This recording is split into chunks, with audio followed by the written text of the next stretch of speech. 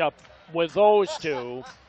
The drive, hmm. Tra-Deon Hollins in the corner, jumpers on the way, a three ball, and it goes for Dequan Jones. Players have been called up. Just- Hollins gets a brush screen there from Moore, dropped it underneath. Anigbogu puts it up and in. Man off of the bench with Jarrod Uthoff Man, to shore themselves up a little. What is it like? Ooh, big shot. Three ball, Wilson. Wilson. It's relaxing. It's comfortable. You know, it's- so anybody get in foul trouble, you can go to oh. someone else. But I don't know if they're going to be able to bring somebody to deal with that guy. That's where you dunk the ball. Wayne To- Newspapers.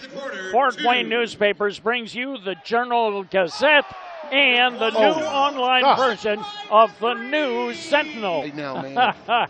Cooking 20 something points right now. Yeah. I believe. And he is, he's just putting on a show. Moore with a steal. Oh, heat check. I thought he was going to shoot. I know it. Downstairs, Moore. What a feat. Gave it a hell of an effort. Yep. Man, Now, Oh, feed right this. into Holland's hands. loud. He'll run it out behind the back. Moore to the left hand for the basket. On a, on a uh, two way, you know, here's a ball stolen away.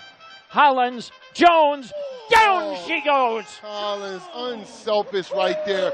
And I've got him breaking to the basket. You better believe I'm going to try to get it to him. Stolen away. The Mad Ants got it back.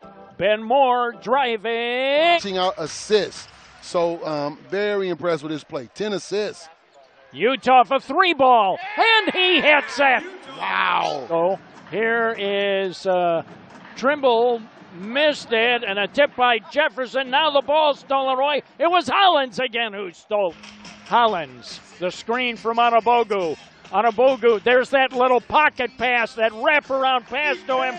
We've seen it before.